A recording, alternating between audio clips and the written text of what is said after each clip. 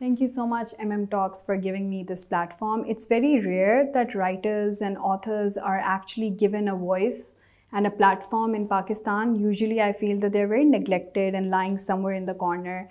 Uh, and the craft isn't respected as much because uh, there are a lot of writers like myself who are primarily writing about Lahore, who are primarily writing about Pakistan and characters which live here, which survive and thrive here. So I think this is just an amazing.